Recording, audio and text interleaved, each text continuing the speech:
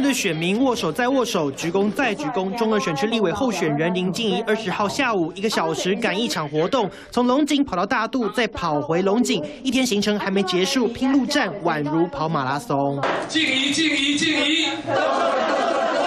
象征好彩头的菜头拿在手上，还有乡亲寄出包子肉粽，祝福林静怡包中。反观另一边，严宽恒阵营。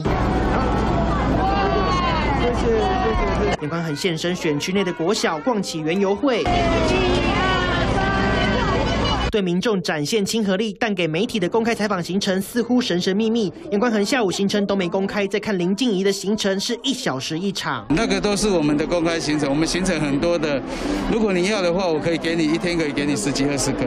在追问严宽恒的竞选团队，仅解释如果每个行程都公开，怕会延误跑摊时间。不认为会影响到我的行程呢？一个是我们本来就应该让地方知道我们在呃地方认真打拼，呃让地方上面回应地方对我。们的需求，这是第一个事情。林静怡认为为民服务不会影响，因为目前全台湾仅有台中拼选战打得火热。好朋友，好朋友，来来来，过枪，过枪，扩枪，扩枪。